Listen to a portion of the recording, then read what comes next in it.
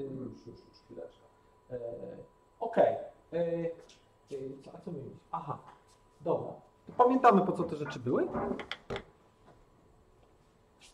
Pamiętamy po co były rejestry. Co to w ogóle były za rejestry? Znaczy w jakim, w jakim żeby się dostać do tych rejestrów, to w jakim trybie procesor musiał pracować? Maszyn. No. Maszyną? Nie. No, nie za bardzo i to pierwsza literka na to wskazuje, że nie za bardzo. Jakby, bo jakby tutaj było M, to wtedy byłoby w machine mode. Tak? To jądro działa w machine mode czy w supervisor? No, supervisor. Supervisor, prawda? E, No bo ten machine mode to był ten tryb taki bardziej dla jakiegoś, e, dla jakiegoś takiego mm, firmware'u, czy, czy BIOSu, czy jak to jak zwał, tak zwał, tak? Takiego czegoś, co, co, co tam w środku też jest bootloader i, i załaduje nam to, to, to, to jądro do pamięci i, i, i jakoś tam wskoczy do tego jądra, znaczy, że, że, że przeskoczy. No, wskoczy do tego jądra w jakiś sposób, ale w szczególności będzie, będzie emulować niektóre rzeczy przy pomocy tego, jak to się tam nazywało. Taki był interfejs, pamiętacie jeszcze, jak on się nazywał? Hypervisor. SBI? SBI, Supervisor Binary Interface, prawda? czyli mieliśmy takie hypercole do tego machine mode'a i ten machine mode potrafił niektóre rzeczy obsługiwać, tak? E, e, e, które nam były potrzebne do wykonania systemu, albo po prostu platforma była ułomna i, e, i czegoś nie umiała i, i, i, e, i mógł przyjść wyjątek do machine mode'u, machine mode to jakoś tam obsługiwał e, i a, czyli, czyli, czyli jakby ten machine mode, to, to on załatwia jakieś takie rzeczy, których, których, e, którymi jądro się nie powinno przejmować, tylko, tylko twórcy, twórcy tych płytek, tak, tych procesorów, które dostarczają no, tego RISC-Pi'a. No i po co my mieliśmy, po co my, po co nam te rejestry? Tak ogólnie rzecz biorąc. No jakaś ogólna konfiguracja, tak? To akurat, żeby sobie poradzić z wyjątkiem, bo musimy wiedzieć, kto tu przyszedł, gdzie się wywaliliśmy, dlaczego się wywaliliśmy. No a to w takim razie do czego tego w implementacji Unixa będziemy używać? Wszystko. Czy to są jakieś ciekawe informacje dla Syskoli? No, być może, prawda? Być może tutaj jest ciekawa informacja dla Syskola i tutaj ciekawa informacja, tak? Bo tutaj musimy się dowiedzieć, że to rzeczywiście Syskol był, a tutaj musimy wiedzieć, jak wrócić w to miejsce, które, w którym, e, jak wrócić do instrukcji po Syskolu. A, a ta reszta? To, to po co bywa? Żeby wiedzieć, czy będziemy się skakać do konkretnego jednego handlera, czy będziemy do wielu, to był STVX. No tak, to jest konfiguracja, prawda, to jest konfiguracja przerwań, tak? To znaczy się tych wszystkich wyjątków, żeby, żeby, żeby wiedzieć, żeby procesor wiedział, gdzie wskoczyć w jądro, jak będzie próbował obsłużyć w jądrze.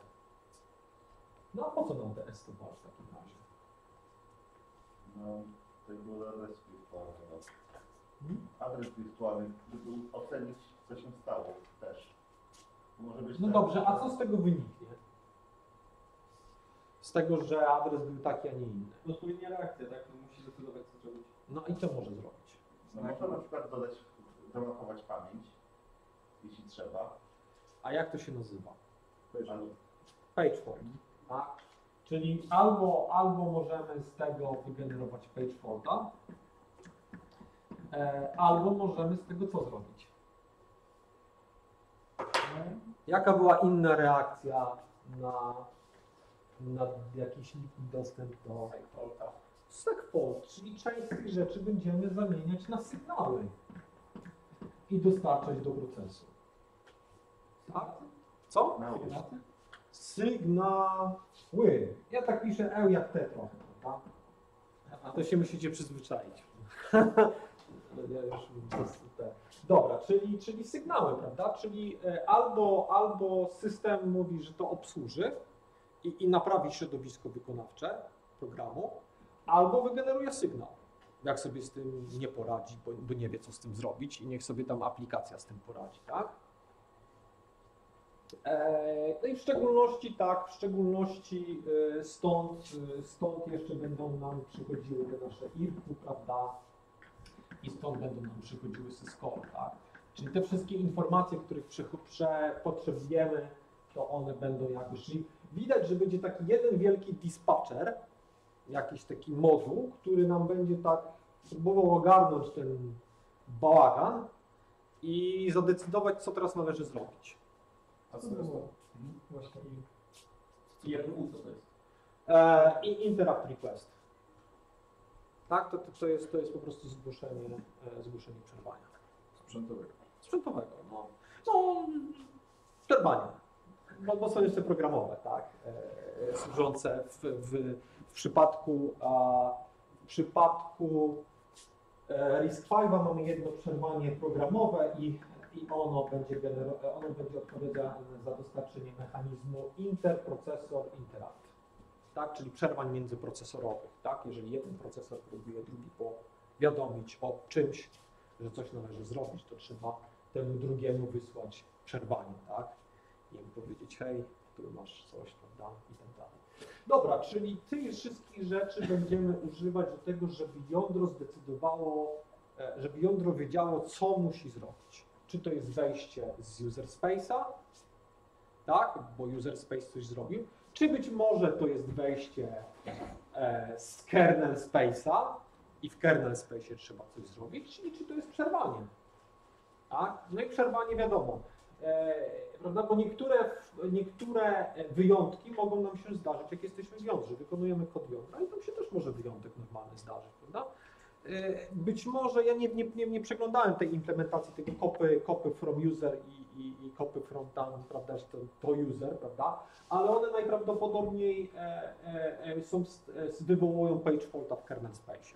Znaczy w, w, tym, e, w supervisor mode, prawda? Więc musimy odróżnić, czy page fault nam przyszedł z user space'a, czy nam przyszedł z kernela. Tak? I w zależności od tego też pokierować jądrem, no bo, no bo jak z user space'a to, to, to page fault albo sygnał, a jak z kernel space'a to, to, e, kopią, to procedura kopy from user na przykład zawiodła. I skąd to będziemy wiedzieć? Na przykład z tego adresu wirtualnego? Nie, nie, nie. My będziemy to wiedzieć jeszcze z jednego rejestru. Jeszcze nam troszeczkę rzeczy brakuje. Prawda? Brakuje nam, e, brakuje nam tutaj jakiejś, prawda, no bo skonfigurowaliśmy przerwania, wiemy jaka jest przyczyna przerwania, wiemy gdzie to przerwanie nastąpiło oraz mamy jakieś takie auxiliary data, jakieś dodatkowe dane związane z tym, co, co tam się dokładnie wydarzyło. Ale jeszcze potrzebujemy, jak zauważyliśmy, potrzeb, wypadałoby wiedzieć, w którym trybie procesor pracował i jak się przydarzyło to, e, te, te, ten wyjątek. Tak? A, no to zaraz sobie też o tym opowiemy. Ale, ale, ale, e, ale co? Ale mamy jeszcze, jeszcze, jeszcze z tymi przerwaniami trzeba by było coś zrobić, prawda? No my już widzimy, że te przerwania to są tak naprawdę rozpatrywane tak samo jak wyjątki. E, przy czym mamy e, w sam procesor mamy tak naprawdę wbudowane trzy przerwania, tak, czyli mamy przerwanie od timera, mamy przerwanie od czego tam, Y, od, od, od zewnętrzne, external e, i mamy przerwanie programowe, tak, czyli soft IRQ, e, często tak nazywane. I ten soft IRQ to, to e, no, nam się to będzie mylić, tak, to znaczy się, że soft po prostu napiszę E, albo po prostu napiszę e, IPI w nawiasie są, dlatego że e, no jak zobaczycie z tą terminologią w systemach operacyjnych czasami jest tak, że to się tam wszystko miesza w jakimś kontekście. To tak, to tak.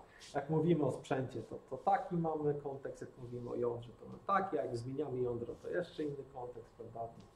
To, to, to jest bardzo zależne. No dobra, tak naprawdę to, to, to z naszego punktu widzenia ten timer jest dosyć ważny, bo ten timer e, służy do odliczania czasu, więc teraz e, wszystkiego, wszelkiego rodzaju jakieś e, terminy są bazowane w systemie na jakimś zegarze, e, jakieś przełączanie kontekstu na zasadzie wygasł ci kwant czasu i, i oddawaj procesor, ty, ty niedobry wątku, prawda?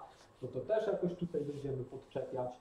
No eksternal, no to będziemy musieli całe to drzewo przerwań związane z urządzeniami wejścia, wyjścia podpiąć, prawda? Tam będą jakieś magistrale, pod tymi magistralami będą następne magistrale, pod tymi magistralami będą jakieś urządzenia, prawda? Więc tutaj jest takie całe drzewo i trzeba wykminić, od którego elementu w tym drzewie przypłynęło to przerwanie, prawda?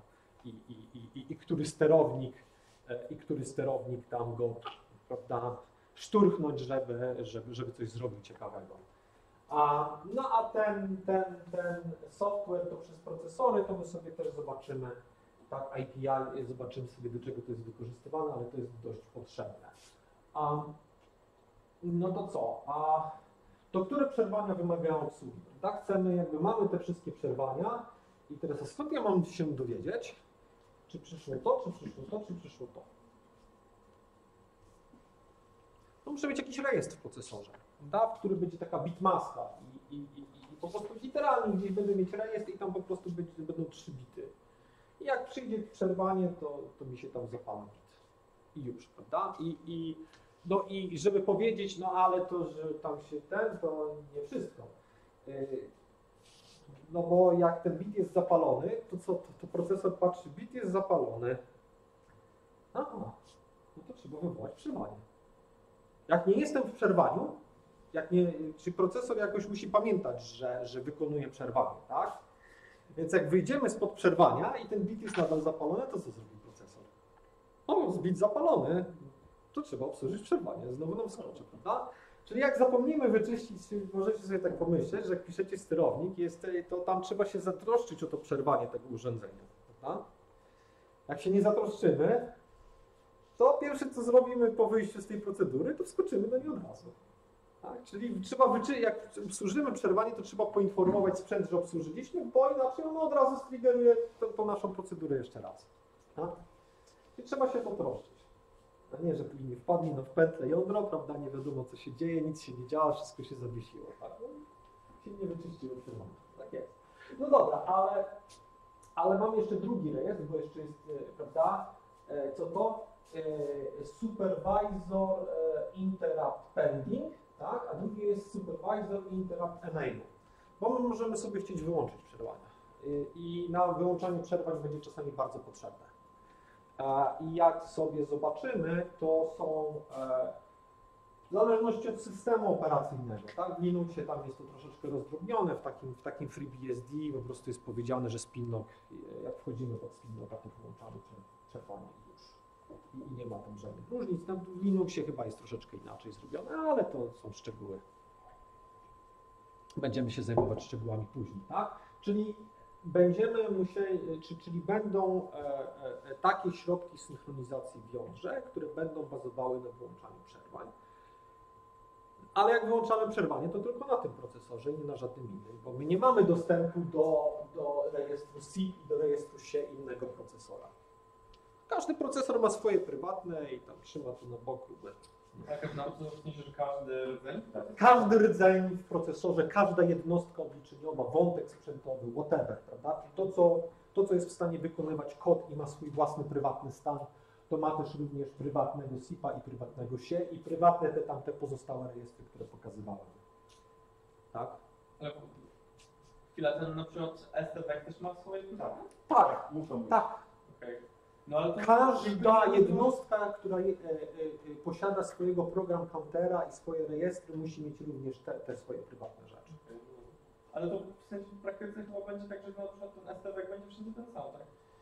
No jądru może zależeć, to wszystko zależy od tego, jak to jądro skonfiguruje. Dobra. prawda? Z reguły można pomyśleć, że ta, no ale z reguły to wiesz, to trzeba zobaczyć. A teraz myślałem wirtualizację i No, trzeba zobaczyć.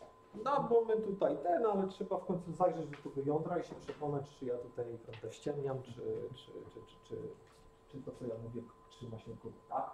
Więc będą środki synchronizacji, które będą, będą ten, ten z tego rejestru i tam, prawda? I, trzeba pamiętać, że to to robi tylko lokalnie.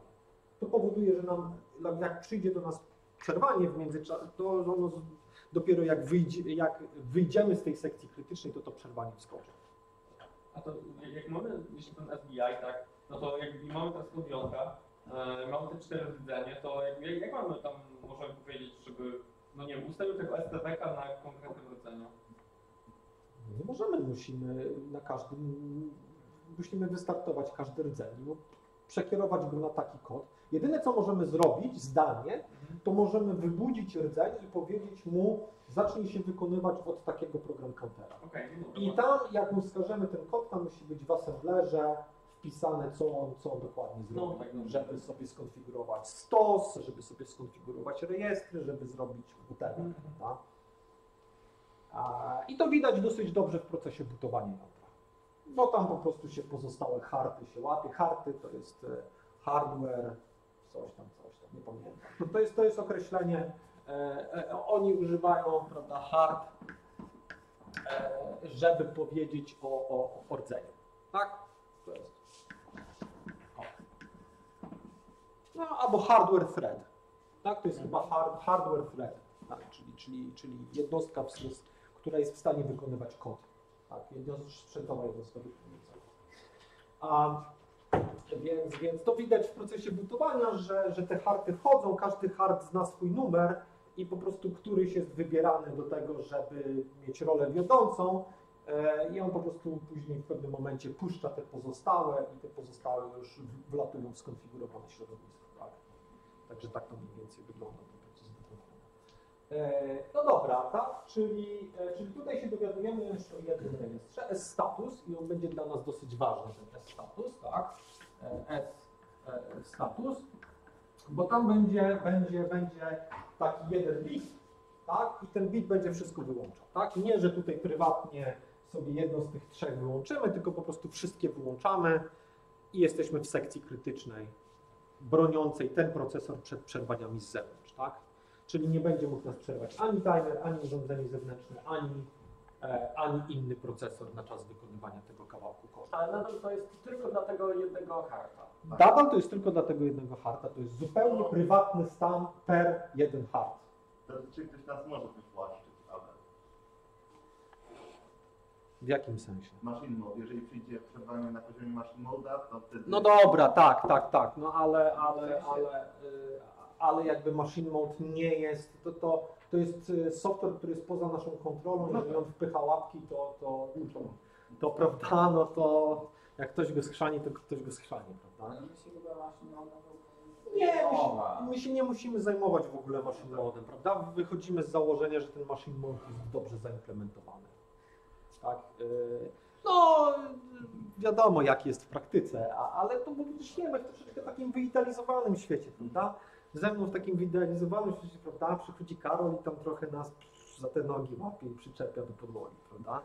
E, No i żyjemy sobie w tym idealizowanym. Jeszcze się zdążymy brzydkich rzeczy naglądać, prawda? brzydkich, prawda, haków, tam, przekleństw w komentarzach, prawda, i, i, i, i tak dalej, i tak dalej. E, No dobra. E, No bo tu koncepcyjnie, prawda, to jest fajny proces, on jest wystarczająco prosty, żeby koncepcyjnie opowiedzieć o tych wszystkich rzeczach. Jak sobie zobaczycie, nie wiem, Intela, Arma, to nic, tylko, prawda, wziąć dwa te, dwa widelce, prawda, i pokręcić. Skarży? Bo ty chcesz jedną operacją to wyłączyć. Jedną operacją chcesz wyłączyć i to. I, i później. No bo tutaj to byś musiał zapamiętać, które były włączone, które były niewyłączone, prawda? A, a, a, a, a tutaj to po prostu zostawiasz, tą, zostawiasz tego SIF w spokoju, tylko po prostu jest taki master bit, który to wszystko wyłącza. A później go flipujesz w drugą stronę od, od, od, i, on, i, on, i to wyłącza, tak? I, I to też zaraz jeszcze będzie jasne, bo, bo, bo sobie zobaczymy jeszcze parę rzeczy. O, no to w końcu konkrety, prawda? A nie ja to gadam, gadam, no to dobrze. To przypuśćmy sobie, że nastąpił wyjątek. Przepraszam, to ja coś chyba mocno zgubiłem. Czym są wyjątki? Wyjątki to e, do wyjątków zaliczamy pułapki, Mhm. e, przerwania, no i te wszystkie tam aborty i tak dalej, prawda? To jest ogólnie, to jest, y, y, to jest zdarzenie e, przypływające z, y, od procesora lub ze świata zewnętrznego, które powoduje, że procesor pragnie wywołać procedurę obsługi tego wyjątku. Okej, czyli wchodzimy do jądra w stanie y, synchronii. y, No jeżeli było, jeżeli to, był, jeżeli to była pułapka, albo jakiś fold, albo abort, no to wchodzimy synchronicznie, bo to e, instrukcja to wygenerowała to wejście do jądra, tak? Jeżeli mamy przerwanie, to po prostu pomiędzy dwoma instrukcjami procesor się kapnie, że przyszło przerwanie i trzeba wejść do jądra. a, Czyli i synchronicznie, i. Tak, i synchronicznie, i asynchronicznie. No to dobra, to, to co się tutaj ciekawego dzieje? Żeby w ogóle e, No bo, no bo powstaje pytanie, jak prawda, no, no jesteśmy, y, tutaj się coś dzieje, prawda? No i w pewnym momencie mamy przerwać tę ciągłość, mamy wejść do jądra, coś zrobić e, i wrócić, prawda? I, i wrócić. A, no to powstaje pytanie, no i wszyscy, prawda, no tutaj, e, prawda, o- okej, i, powstaje pytanie, ile robi procesor, tak? Ile, ile z tej roboty stąd tutaj przejścia, prawda, czy wejścia tutaj, ile z tego robi procesor, a ile z tego robi programista? Tak, bo, to jest pytanie. Czy programista zachowuje wszystkie rejestry na stos? Kto przełącza wskaźnik stosu? Tak? Kto zmienia jakieś tam wartości w rejestrach tych uprzywilejowanych? Tak? Krótko mówiąc, trzeba jakby no zobaczyć, ile, ile z tej całej akcji z przejścia powiedzmy z user do kernel i wykonanie procedury robi procesor. Tak? No bo coś będzie robić. E, No to co? To, e, to, to, to pierwszy punkt jest taki, że jak już jesteśmy w tym punkcie i, i, i procesor zidentyfikował, że instrukcja jest, e, na przykład instrukcja jest B albo przyszło przerwanie, to co procesor musi zrobić? No jest w user mode. To musi się. E, Tak, czyli pierwszy punkt to będzie idź do supervisor. Staram się te ery swoje ładnie pisać, chociaż pewnie nie będę potrafił. Dobra, czyli musimy wejść do supervisor, tak? E, no właśnie, to procesor zwiększa poziom przy- o, a, oraz zapisuje poziom, z którym wykonywała się poprzednia instrukcja. Status SSP. Tak? Czyli nam nie wystarcza podniesienie się do supervisor. My musimy jeszcze wiedzieć, czy to był user, czy to był kernel. Bo w zależności od tego możemy podejmować różne decyzje. No? Bo, bo być może jeżeli będziemy powracać z kernela do kernela, to inaczej zareagujemy niż jak z kernela do user space'a. Na przykład, jak wracamy z kernela do user space'a, dostarczamy sygnału. Jak wracamy z kernela do kernela, no to no sorry, ale kernel to nie, to nie rozumie w sygnału, to znaczy się, sygnały go nie dotyczą tak? Więc będziemy musieli coś zapamiętywać. E, no i idea jest taka, że istnieje S-status, e, S-status, znowu supervisor status i w nim jest bit, który się nazywa SPP. Jak myślicie, co to jest skrót SSP? Save. e, Supervisor previews. Super. Previous. Previous privilege. Tak? Tak mi się wydaje, nie wiem, a może previous, a może previous, no nie wiem. Trzeba sprawdzić w dokumentacji. Sprawdźcie, prawda? Macie, macie w internetach tę dokumentację, poprawcie mnie, prawda? Zobaczymy. Saved? Whatever, prawda? Ważne, że previous privilege. O, to nas obchodzi, to jest najważniejsze. A, I na podstawie tego będziemy podejmować jakieś decyzje i sobie zobaczymy gdzie. E, No to dobra, to, to, to co dalej? I to nadal procesor robi, to wszystko robi procesor. prawda? E, No właśnie. No właśnie. To ja powiedziałem coś takiego, że jak procesor e, ma włączone przerwania i zapalony jest bit w rejestrze interrupt pending, to co? To skacze do procedury obsługi przerwania, prawda? Czyli jak jeżeli było przerwanie, czyli jeżeli przyszło przerwanie, to żeby ten procesor się z automatu nie zapętlił, to jak on wchodzi pod przerwanie, po, do procedury obsługi przerwania, to sobie sam musi wyłączyć przerwanie. Tak? Obsługę przerwań, tak? No żeby się nie zapętlił, tak? I dokładnie dlatego robi to, co tutaj jest napisane. Czyli on jak, tak jak, jak wchodziliśmy do procedury obsługi sygnału, to automatycznie ten sygnał był wyłączany, tak? Przez, przez jądro. Tak samo będzie tutaj, tak? Żeby to się nie zapętliło. Czyli drugi punkt jest taki. Wyłączamy wszystkie przerwania, e, czyli disable, disable, IRQ, IRQs, tak? Oraz robimy coś takiego, że S-status, jak to tam jest napisane, że SP i E przypisujemy do tego co? E, status e, e, S i E i S-status Status e, SIE e, jest równy 0. No to właśnie ustawienie tego, ustawienie SIE na 0 to nie jest disable Aircus, to nie jest to właśnie? No to właśnie dokładnie on to robi, ale to, to, to, to tak naprawdę to tak naprawdę musielibyśmy tak zapisać. No Bo, właśnie. bo zobaczmy, że on robi to w taki sposób, tak, że do e, nie wiem, saved albo supervisor previous interrupt enable wpisuje ten interrupt enable, z którym się wykonywało do tej pory oraz w następnym kroku od razu bierze i, e, i wyłącza przerwanie, tak? Czyli niezależnie od tego, czy weszliśmy w wyniku wykonania pułapki, aborta, folta czy, e, czy, czy, czy, czy przerwania sprzętowego, są wyłączone przerwania.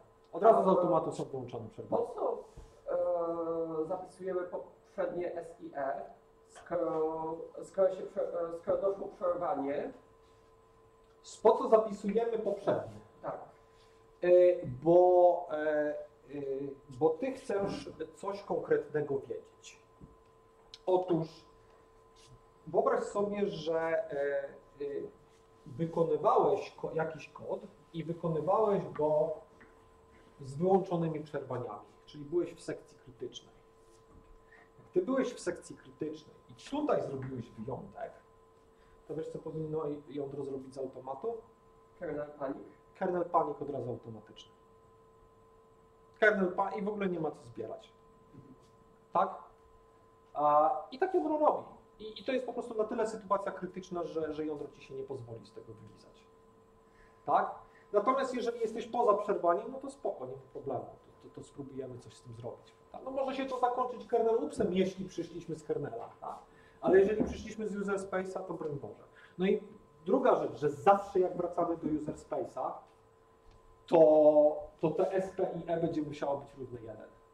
Co prawda ten procesor trochę oszukuje i on sam dba o to, żeby to był 1, prawda? I tym się nie trzeba przejmować, ale, a, ale widzimy, że jak się wykonujemy w user space'ie, no to nie chcemy user space'a wykonywać z wyłączonymi przerwaniami, bo, bo wywłaszczanie nie będzie działać, tak? A ja jeszcze raz, po co w zasadzie właśnie to pamiętamy? To znaczy, właśnie czemu to nie jest... Chcesz stan poprzedni pamiętać, bo ty jakby ci interesuje ciebie, żeby wiedzieć jak najwięcej o tym kontekście, który przerwałeś.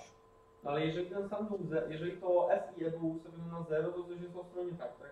To nie, yy, no tak, to jest ostro coś nie tak. No to po co to w ogóle robić? E, No bo chcesz rozróżnić te dwie sytuacje, bo, bo nie chcesz po prostu, jeżeli zobaczyłeś, że przerwałeś kontekst, w którym SIE było równe 0, no No to, pan, że no to, no to, no to chcesz właśnie to wykryć. Okej, no... Znaczy, tylko chodzi o to, czemu my teraz nie panikujemy. No właśnie, to jest hardware. Bo to jest hardware przez cały czas to robi. To, to nie jest, to, tego nie robi software. No To dobra. przez cały czas, dlatego jak głośno krzyczałem na samym początku, to robi procesor. Tego nie robi software. Okej, no ale czemu Tak? w procesorze nie może być czegoś takiego, że widzi, że jak chce wejść w przerwanie i widzi, że SIA jest 0, to po prostu skacze do jakiegoś handlera, który panikuje. A czemu chcesz tak komplikować sprzęt? Sensie, No bo teraz jakby, no, no jakby to jest rzucone w takim razie na programistę, że on musi sobie sprawdzić, czy SPI No tak, ale to się pisze raz dla, dla, dla jądra. No, No nie, ale nie, nie no okej, prawda, to to znaczy znaczy, się... że to jest dodatkowy rejestr, który zawsze jakby, no w sensie w bardzo określony sposób Ale zakazuje. bo on chciał robić coś innego. A to inaczej musiałbyś mieć dodatkowy rejestr, który będzie zapisał w ogóle ten handler, tak? Może jeszcze bardziej No tak, no to wiesz... A wtedy co się dzieje? Wtedy leci sygnał, bo co znaczy ten kernel panic? To znaczy, że... Kernel, sygnał, no żadne sy- sygnały w jądrze nie istnieją. Sygnał to jest user space'owy koncept. Nie wiem, no, ale to jakiś program tu zrobił, tak? Ten, który Do jedyny, przed... jedyny program, który jest w stanie wyłączyć, ją- wyłączyć y, przerwania, to jest jądro. Aha, okej. To Czyli jeśli w jądrze byliśmy w sekcji krytycznej i tu były wyłączone przerwania i tutaj stał się wyjątek, to znaczy, że jest coś bardzo nie tak. Okej. I e, skoro mamy wyjątek, to to zapewne będzie jakiś błąd, w, e, jakiś wyjątek z instrukcji, którą wykonywaliśmy. Na Tak. przez zero. Yy, Na przykład, yy, czyli tak, jeżeli wchodzicie do sekcji krytycznej chronionej przerwaniami i tam zrobicie page faulta, jądro jest pozamiatane. Jeśli jesteście w procedurze obsługi przerwania i zrobiliście wyjątek, pozamiatane. W tych kontekstach jądro się nie wyliże. I nie ma, i nie ma w ogóle oczu. Okej, czy to się stanie tylko w jądrze? To się stanie tylko wiążek. Tak, to się stanie tylko wiążek. A jeszcze to, że procesor wykonuje te wszystkie operacje. Tak. To jak to jest, jak to jest właściwie zakodowane? Skąd? Odsyłam do implementacji. Okej. Tak, w, w Verilog'u, czy, czy w Chiselu, czy w czymś tam, Aha, prawda? Nas to nie interesuje, to jest napisane w specyfikacji i, i pro, implementacja procesora jest zobowiązana to jakoś zrobić. Jakimi środkami to zrobi? Czy to zrobi jakimś mikrokodem, czy, czy to będzie bezpośrednio na jakaś maszyna stanów, na jakichś bramkach? Nie. Ewentualnie zapraszamy na później rdzeni. Tak, bo będziemy mieli ten problem do pokonania. Dobra. E, to to już wiadomo przynajmniej po co to robimy. No, bo, bo musimy wiedzieć więcej na temat tego kontekstu, który, z którego przechodzimy.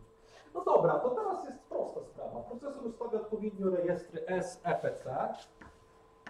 E, dlaczego mówię odpowiednio? No bo w zależności od wyjątku. Prawda? Bo jeżeli to jest przerwanie, no to, no to, no to po prostu adres instrukcji, która jeszcze nie zdążyła się wykonać. Tak? Następnej instrukcji, która jest do wykonania. Jak to jest syscall, no to to musi być następna instrukcja, prawda? No bo syscall jest skonsumowanym wynikiem. I tak dalej, i tak dalej, nie? Więc SEPC. SCOS, no wiadomo, bo trzeba umieć rozróżnić, co spowodowało ten wyjątek, czy to jest, prawda? I tak dalej. I STVAL, jeżeli potrzebne są jakieś dodatkowe informacje. E, ostatecznie co robi procesor? Procesor oblicza PC, A e, te STVAL są też zdefiniowane w specyfikacji. Tak, e, które, który, y, bo to jest tak, że tak naprawdę powinniśmy o tym myśleć jako o parze ESCOS STVAL, tak? W sensie, że e, e, dany ESCOS mówi, e, co będzie wpisane do STVALa. Tak? Co będzie dokładnie. Tak, czyli to są takie dodatkowe dane związane z tym wyjątkiem. Najważniejsze jest to, że ostatecznie ten procesor musi ustawić PC, no i on go tam ustawi na, jak się to nazywało? STWEC. No STWEC plus e, whatever i, i, i robi, prawda, to znaczy robi jump. A czy STB nie przechowywał informacji o tym, czy to jest direct, czy. e, No on wygrzebuje stamtąd odpowiednie pole, prawda? E, i, I to pole mówi o tym, prawda, policzy sobie. Z tamtego rejestru sobie policzy, prawda? Z tamtego rejestru, e, czyli powiedzmy jest jakaś funkcja, nas za bardzo ona nie obchodzi, e, taka, że mamy ten STB plus co, plus, S cost, tak? I on z tych, na podstawie tych dwóch rejestrów obliczy sobie jakiś PC i, i skoczy do, pod to PC w jądrze, tak? I to robi sprzęt. To robi sprzęt. Dlaczego nie zrobił sprzęt? Czego, czego byśmy oczekiwali, że stanie się no gdzieś tutaj. I, i, i gdzieś tutaj. Nie to, to na razie, na razie, na razie tylko tą strzałkę że sobie rozważyć. Czy chcemy jakby wejść do jądra i zacząć wykonywać jakiś kod? Zrobić kontekst usera, tak? No ten kontekst trzeba gdzieś zapisać, prawda? Czyli nie mamy zapisanego kontekstu usera. Czyli tego jądro, to, to będzie musiało zrobić jądro, prawda? A, a gdzie ten kontekst będzie musiał być zapisany? Na coś dobra, tak? Na stosie jądra. A, a, a kto nam zmienił stos? Nikt. Nie mamy stosu. Trzeba będzie sobie zmienić stos. Tak? No. I je- jednocześnie, dopóki nie zapiszemy tych wartości rejestrów, to niezbyt mamy jak używać rejestrów. Mamy jeden specjalny No nie, nie spojluj. Ja tu napięcie wprowadzam, a ten... No, no dobra, ale, ale to dobrze, prawda? Będziemy, będziemy, coś, będziemy coś dodatkowego potrzebować, prawda? Będziemy potrzebować jakiegoś myku. E, myku e, e, e, 5 Dobra. E, no dobra, to, to już sobie żeśmy powiedzieli. A, tak czy siak, właściwie już jesteśmy w jądrze. Pozostaje tylko pytanie, jak, jak, jak, jak przygotować się do tego, żeby. Po pierwsze, jest fajna rzecz, ponieważ SIE jest równe 0, to my wiemy, że, że, że w trakcie wykonywania tego kodu, tak, który, o te, tego początku tego kodu, tak, o, o, o, o, o powiedzmy o tego miejsca, tak, to że my póki tutaj nie włączymy SIE równe 1, to, to, to ten kawałek nie zostanie nam przez nikogo przerwany, tak? Czyli będziemy mogli bezpiecznie tam ten stos sobie zmienić, być bezpiecznie na ten stos będziemy mogli odłożyć rejestry i tak dalej, i tak dalej. Później ewentualnie będziemy mogli zdecydować, czy przełączyć się, czy włączyć przerwanie, czy, czy, czy nie włączać przerwania. Jak myślicie, kiedy pójdziemy taką ścieżką, że kiedy pójdziemy ścieżką o taką, że, że jest 0, a takie, że jest 1? No bo to się gdzieś tam spotka, bo będziemy musieli wrócić i będziemy i wrócimy do tego punktu i wrócimy do tego miejsca, które przerwaliśmy, prawda? Kiedy będą wyłączone przerwania na cały czas trwania tego, jak jesteśmy w jądrze? No, tego y, przerwania, przerwania system. Daj, ty wiesz, bo ty z tym pracujesz, daj innym trochę. Pomyśleć. Teoretycznie moglibyśmy e, podczas e, X-timera mieć wyłączone przerwania, aby w momencie jak e, długo będziemy z jakiegoś powodu w tej procedurze obsługi tego przerwania, to żeby nas nam ponownie nie, nie wywołało go. Mhm, mhm, mhm. Czyli my chcemy, my chcemy, jak obsługujemy przerwanie, to, to póki, bo, bo jeszcze jest taki problem, że to, póki wykonujemy to przerwanie, to my je wykonujemy, ale jeszcze ten bit pending będzie trzeba wygasić, żeby powiedzieć sprzętowi, że my już obsłużyliśmy to przerwanie, prawda? Więc co najmniej dopóki tego pendinga nie wygasimy, to będziemy musieli być pod wyłączonymi przerwaniami. Ale z reguły jest tak, że od początku do końca się jedzie, ja- ja- jak się obsługuje przerwanie, to od początku do końca się jedzie na wyłączonym przerwaniu. Czyli cała procedura obsługi przerwania jest, leci na wyłączonych przerwaniach, dopiero to włączamy, jak powracamy do jądra i do user space'a te przerwania, tak, czy one się automatycznie włączają. Natomiast e, a, a, a ta ścieżka, to, to kiedy, jak one są włączone? Jak myślicie? Jaki jest taki, bo tam był taki dobry, padło takie fajne sformułowanie. Jak ta procedura będzie się długo wykonywać, to być może chcemy mieć włączone przerwania. Syskola. Zespole się długo wykonuje, prawda? Czyli pułapki będą, będą już na włączonych przerwaniach się wyłączy, y, będą działać. Tak? I potencjalnie ten kod, który wykonuje pułapki, on będzie, czy, czy, czy będzie już mógł być przerywany. I, I to nie jest duży problem. Ale może być, w sensie, przez to może być przerwane, może być na przykład przez zegar, żeby, No, nie przez, może być przez zegar, może po prostu, wiesz, wchodzisz i chcesz robić sysrida albo syswrite'a, prawda? Mhm. No to może ci po prostu zwykłe przerwanie od karty sieciowej przyjść, które tam jakiś bufor będzie musiało coś do niego dodać, prawda? Właśnie, właśnie się strajk możecie przerwać gdzieś w połowie, na przykład po to, żeby pomienić trochę jakiś inny proces użytkownika. Tak, tak, to znaczy się w jądrze też my będziemy mogli ten, ten wątek, który się wykonuje tutaj, ponieważ mam włączone przerwanie, będzie można po prostu timerem go tam zdjąć z procesora i włożyć na procesor coś innego. A tu już nie działa wywłaszczenie, jak jesteśmy w środku obsługi Syskola, czy działa wywłaszczenie? No działa, bo, bo, bo jeżeli masz włączone przerwanie, to, to może wywłaszczyć, dlatego że to, co wywłaszcza, to są dwie akcje. Przychodzi przerwanie, które wybudza wątek, który jest ważniejszy od tego, który się wykonuje w chwili obecnej. No, wyższy priorytet, no to wam tam idź, prawda? E, A, a, albo przychodzi zegarek i mówi, to tobie się już wyczerpał kwant czasu, bądź uprzejmy dla innych, prawda? I, i sobie zejdź, prawda, z procesora. Więc, a, ale, ale rzeczywiście muszą być tutaj włączone przerwania, żebyśmy mieli szansę zostać wywłaszczonymi. E, No oczywiście sami też możemy oddać sterowanie tutaj, prawda? Tutaj z tym oddawaniem sterowania tutaj jest, na tej ścieżce jest dużo, dużo gorzej, prawda? Czyli widać, że będą takie dwa ważne konteksty w jądrze. Takie dwa konteksty, gdzie my coś wykonujemy, jak już wiemy, prawda, w tej którejś połówce, tej połówce asynchronicznej i w tej połówce, tej większej połówce synchronicznej. I to, prawda, my włączając tutaj przerwania, de facto spadamy do tej dolnej połówki. Tak, jeśli sobie pomyślimy o tym, że tutaj nam przychodzą przerwania, prawda, od tej strony nam przychodzą przerwania, to jest, ja nie wiem, czy to dobrze jest. Ja mi się myli, nie pamiętam. Ja- Jak jest, jak jest w Linuxie? Top half to jest y, tam, gdzie przychodzą przerwania? Nie wiem.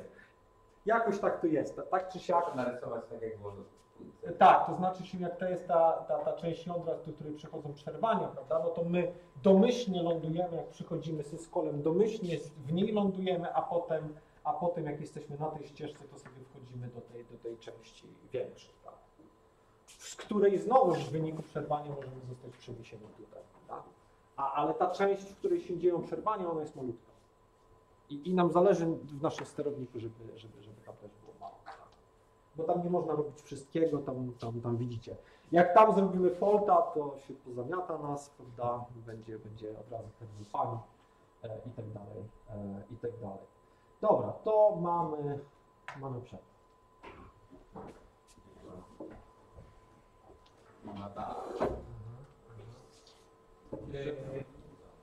Dobra. To jeszcze warto by było tak na szybko wspomnieć, a co się dzieje, a co się dzieje e, e, tutaj w tym kawałku, prawda? No tutaj jakoś będziemy musieli odtworzyć ten kontekst, czyli, czyli widać, że coś tam procesor będzie musiał zrobić, e, raczej inaczej. W sensie programista będzie musiał najpierw coś zrobić, a później wywoła, mm, no właśnie, co, co, co będzie musiał zrobić? Co, co, co zrobić, jeśli chcemy wrócić do user space'a, albo jeżeli chcemy wrócić do kernel space'a? No musimy jakoś się przygotować na ten powrót. I teraz skąd procesor ma wiedzieć, że ma wrócić do user space'a?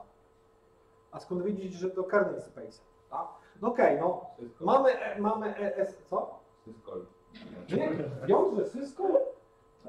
Nie masz Cisco wiąże. User calls. No ale nie wiesz, co jest w user, w user space. Tam, tam może być bałagan, prawda? E, to nie chcesz polegać na bałaganie. E, więc no coś trzeba zrobić, żeby wrócić, prawda? E, no to z reguły to się implementuje w ten sposób, że, e, że ostatnią tą instrukcją procedury obsługi wyjątku jest SREF, prawda? Czyli Supervisor Return. Prawda? Czyli tutaj ostatni... Co? Co? Procesora. Tak, to jest instrukcja i co więcej instrukcja uprzywilejowana. Tak? Czy tylko, tylko i wyłącznie supervisor mode możesz ją zawołać, tak? No w machine mode jest chyba MRET, który jest to- tożsamy z SRET-em, to, to, to, to nie jest jakby tak? Okej, ale gdzie jest ten wskaźnik powrotu? Właśnie. Jak myślicie, gdzie, gdzie jest? To zapewne tam, gdzie zapisaliśmy go. A gdzie go zapisaliśmy? No sepec. No w sercu, w sercu jest trzymany. No dobra, no ale co jak widzę przerwania, przyjdzie na przerwanie, to co wtedy? Jak to? No nie może ci przyjść. No nie, no może, przecież możemy włączyć przerwania, tak? Aha, znaczy w sensie w procedurze obsługi wyjątków mówimy, że jest trap i, i tutaj, prawda? No tak, Trafi to na znowu to się zmieni, nie? Bo gdzieś będziemy musieli tutaj wrócić. No to trzeba było zapisać ręcznie, skopiować z tego sepeca do... No to w takim razie e, wygląda na to, że SEPC jest e, częścią kontekstu, który trzeba zapisać na stos. I, i, I to się mu- musi wykonać tutaj, czyli, czyli mamy logiczny blok, który się nazywa save ctx. E, I my tego, i my tutaj będziemy musieli zrobić load ctx? Czyli e, spodziewamy się, że na przykład e, SEPC jest częścią tego kontekstu. Tak? No, musimy wiedzieć, jak być. Co więcej, okazuje się, że S-status jest częścią rejestru. A czemu? Bo tu jest SP e, i. No bo tutaj jest napisane, jaki jest poprzedni, poprzedni privilege level. I jeśli, jeśli PP było ustawione tam na U, to wrócimy do user space, a jeżeli na K, to wrócimy do, do, Ale nie tylko ten poprzedni... do supervisor mode. Nie tylko poprzedni privilege, e, previous pri- privilege level, ale też e, poprzedni interrupt enable. Tak, tak, tak, tak, oczywiście, prawda? To znaczy się, że my przywracamy poprzedni previous, e, privilege level i, i włączamy te przerwania, które były aktywne zanim, zanim żeśmy poszli do, do procedury obsługiwującej, tak? Czyli niektóre bity z tego rejestru S-status, one również należą do tego kontekstu, który należy wznowić, żeby przywrócić działanie no tego, tej instrukcji prawidłowa, tak? Czyli, czyli do, kontekstu, do kontekstu należą wszystkie rejestry od X0 do X31. Nasz program counter, który ląduje w SEPC e, oraz w S-status lądują nam bity te interrupt, enable i privilege level, tak? Czy tam previous, privilege level, tak? No ale zapiszę to PP, żeby się nie, nie, nie myliło, tak? E, Właśnie, jak teraz jest ze stosem, to jest tak, że mamy Nie, sobie... No, nie ma hardware'owo, ale software'owo jest stos. No to będziemy musieli to zobaczyć, jak to jest zrobione. No Prawda? Bo, to, bo to nie jest oczywiste, prawda? Jak to jest zrobione. No więc tutaj widzicie, prawda, że tu się nic ciekawego nie dzieje. No przywracamy się, przywracamy, e, e, jeśli wracamy do przestrzeni użytkownika, to znaczy się, jeżeli procesor widzi, że te PP, SPPP jest odpowiednio ustawione, to, to, to, to sam włącza te przerwania, bo tak jest semantyka zrobiona, ale tego nie można się spodziewać po każdym procesorze z innej architekturze. Tak jest tylko dla RISC, prawda? Na RISC fajnie, a dla ARMA to już tam może trzeba to inaczej troszeczkę. Ale to są detale. To są detale, malutkie detale. Jak, jak to mniej więcej rozumiemy, to reszta już, reszta już przejdzie. Ja tą drogę już przechodziłem dla MIPSa, ja już tą drogę przechodziłem dla ARMA 64-bitowego, 32-bitowego. Z grubsza wszędzie wygląda tak samo, tak? Te Malutkie psztyczki się tam różnią?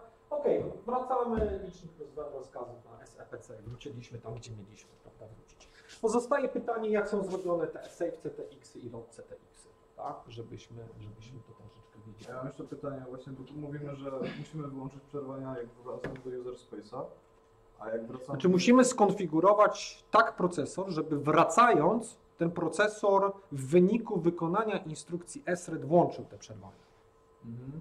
No, bo my ich sami nie włączamy. My prosimy procesor, żeby to zrobił z- w ramach instrukcji SRED. Okej, a w przypadku jak wraca do jądra, to, to to zależy od tego, jaki był tam stan? To, to, to, to, to zależy od tego, co było wpisane w SPIM. Mhm. Okej. Tak? No bo tutaj widzimy, że on SPIE kopiuje do tego obowiązującego stanu, tak? Mhm. Tak. Tak. No więc to jest zaskakujące, że tego kontekstu jest troszeczkę więcej niż byśmy się spodziewali, prawda? No bo te dwie rzeczy byśmy się spodziewali, że one będą w kontekście. Prawda? Wartości rejestrów i, i wartość licznika instrukcji, ale okazuje się, że potrzebujemy jeszcze jakieś bity z jakiegoś magicznego rejestru, tak, te- te- tego rejestru statucowego, żeby, żeby to poskładać do kupy. Prawda? W szczególności jeszcze jak wchodzimy do jądra i jesteśmy tutaj na przestrzeni Safe CTX-a, musimy zadbać o to, że jak później włączymy przerwania, to co może się stać? Które rejestry można, mogą się nam nadpisać, a których nie zachowaliśmy w kontekście? STVAL oraz Prawda? No, no, no mogło się zdarzyć, że tamte rejestry, których nie zapisaliśmy, no to, to, to, to, to jedno od razu nadpiszę, prawda? Więc je też trzeba zrzucić do kontekstu. I co prawda nie będziemy przywracać, ale my je potrzebujemy w kontekście, dlatego że w jądrze, jak będziemy wchodzić w głąb jądra, to czasami w głębi jądra będziemy się odwoływać do tego kontekstu i będziemy zaglądać do tych wartości. Tak? Na przykład mamy jedną ogólną procedurę obsługi pagefolda, ale w tym pagefoldzie musimy wiedzieć skąd on się narodził, ten pagefold. Czy go spowodowała instrukcja, czy, czy, czy, czy, znaczy, czy czytanie instrukcji ją spowodowało, czy wykonanie instrukcji ją spowodowało i czy load ją spowodował, czy ją store spowodował, czy, czy coś tam, prawda? I to będziemy musieli wyciągnąć z ESCOS, bo tam to jest zakodowane, tak? A więc, więc, więc tutaj będziemy zapisywać cały ten nasz kontekst interesujący, tak? Wszystko to, wyciągamy z tego procesora wszystko to, co nam jest niezbędnie potrzebne, no bo jak już włączymy przerwanie, to, to te rejestry, prawda, w wyniku przyjścia przerwania mogą zostać napisane. Tak? E, dobra, a no to ten prolog tej procedury obsługi wyjątku, jak on będzie wyglądał, czyli, czyli, czyli, czyli ta część, jak ona będzie wyglądała, ten save CTX. No, po pierwsze, rejestry procesora, co my wiemy, prawda? Wiemy to, że rejestry procesora przechowują stan przerwa, przerwanego programu, e, tak, łącznie z rejestrem wskaźnika stosu, czyli po prostu jak byliśmy tutaj, tak jak wylądujemy w pierwszej instrukcji tutaj, tak samo widzimy rejestry. A mamy dokładnie to samo w rejestrach. Niedobrze, prawda? A jeśli przerwamy kod jądra, to nie ma problemu, bo jesteśmy na tym stosie, na którym trzeba. A? I, i, I możemy grzecznie na ten stos sobie tam odłożyć to, co nam się podoba. Tak? Ale jeśli, e, a, ale jeśli, ale jeśli co? Jeśli przeszliśmy z przestrzeni użytkownika, to, to mamy problem, bo jesteśmy na złym stosie. I my w ogóle nie możemy zapisać kontekstu, bo nie możemy nic pisać na, na, na bo, bo, się tak umówiliśmy, że e, użytkownik może mieć taką aplikację, która po prostu na początku wsadziła do rejestru, e, który przechowuje stack pointer wartość, e, wartość e, OX D add code i już. I nigdy ze stosu nie korzysta, bo jest jakąś głupią maszyną, która nie wiem, w ogóle nie, robi jakiś taki, prawda, program, który nie, nie wymaga w ogóle, czyli interpretuje jakiś program, który w ogóle nie, nie rozumie koncepcji stosu, prawda? więc ten rejestr jest zupełnie bezużyteczny. Więc my nie, nie możemy zakładać, że, że w tym rejestrze cokolwiek je- jest coś sensownego, a w szczególności jak nie ma nic sensownego, to nie możemy tam zapisać z, punktu, z, z przestrzeni jądra. prawda? Więc jest y, rejestr jak każdy inny, nic na temat niego nie wiemy. No dobra, ale to, że nie wiemy, to nie znaczy, że nie potrzebujemy jąder, nie potrzebujemy stosu. Więc będziemy mieli specjalny rejestr S-Scratch, tak? Od Scratch Pad, od jakiegoś takiego, co to znaczy Scratch? No Bazdev, taki, prawda, taki roboczy będziemy, prawda? E, I będziemy mieli taką głupią, dziwną instrukcję, ona się nazywa Control Status Register Read Write. I jest e, Control Status Read, jest Control Status Write i jest taka głupia instrukcja, która tam robi takiego atomowego słowa. Tak, między, między, między, między rejestrami. No to dobra. To teraz ta, instrukcja będzie wymieniała wartość rejestru ogólnego przeznaczenia i, jakiegoś rejestru tego sterującego. Tak? Te, tego rejestru, to, to są też rejestry sterujące. Prawda? To są te wszystkie rejestry uprzywilejowane, te rejestry konfiguracyjne procesora. Tak? A, I zrobimy tutaj pewną sztuczkę. Co prawda w Linuxie jest troszeczkę inaczej robione, e, ale to jest z grubsza to samo. Tak, ta, tam, tam jest to troszeczkę bardziej, ale zobaczymy. Czyli robimy tak. Idea jest taka, że jak, co my powiedzieliśmy, że przyszliśmy z jądra i jesteśmy w tej procedurze, procedurze obsługi wyjątku, to jesteśmy na dobrym stosie, więc nic nie musimy zmieniać. Tak? A jak nic nie musimy zmieniać, no to co? To nic nie robimy. Tylko jak my mamy to sprawdzić? Że, że... Aha, tam jest po prostu wartość. Znaczy, znaczy to jest tak, przecież my nie możemy, y, możemy sobie, SPP. tak, możemy sobie robić, nie, No nie ale to, żeby SPP, to musielibyśmy wczytać do rejestru. Tak. A my nie mamy żadnego wolnego rejestru, bo, bo, bo, mamy, bo mamy przerwany kontekst jakiegoś innego programu i, i to zajmuje wszystko jest. Więc to, co można zrobić, to można zrobić tak. Jak jesteśmy, e, e, co, jak jesteśmy, ustalimy niego wskaźnik stosująca, na czas wykonania jądra wstawiamy tam 0. Aha, czyli można zrobić coś takiego. Jak jesteśmy w jądrze, to zamieniamy stack pointer z zerem. No I w- naszym rejestrze widzimy 0. No to jak to 0 porównamy z zerem, a, a to możemy zrobić, no to co? To, to wiemy, że jest niedobrze, to znowu zamieniamy. Prawda? Więc taką sztuczkę robimy, że, że, że, że zaglądamy do tego zachowanego stack pointera. Jeśli on jest zerem, to odwracamy tą operację i jedziemy dalej i uznajemy, że jesteśmy w jądrze. Czyli niezmiennik jest taki. Jak jesteśmy w jądrze, to w S-Scratchu wstawiamy 0. Tak? Czyli, czyli robimy tak. Wchodzimy do jądra, znaczy wchodzimy do procedury obsługi wyjątku, tak? Jakiś do trash, tam, nie wiem, jak to nazwiemy, exception. Ex. I teraz tak. E, robimy tak. Zamieniamy SP ze Scratchem. If SP równa 0, to, e, to co? To robimy SP ze Scratchem. I idziemy dalej. Prawda? A else to co? No to tu, tu same rzeczy na stos, te, które trzeba. A, a, a else to oznacza, że tutaj oznacza, że przyszliśmy skąd? Z jądra. Z kernela. A tutaj? Zrobić publika. A to co tutaj musimy jeszcze zrobić? No, spakować nasz kontekst. Nic nie musimy tu zrobić. No, Tak, ale to jeszcze raz, w tej pierwszej, to pierwsza sytuacja, jak SP jest równe 0, to znaczy, że my z jądra przeskoczyliśmy do użytkownika, tak? e, SP równe 0 to jest ją... No Nie, nie, zmiennik jest taki. Jeśli, jeśli e, przyszliśmy e, liśmy e, z jądra, z jądra, to S-Scratch jest równy 0.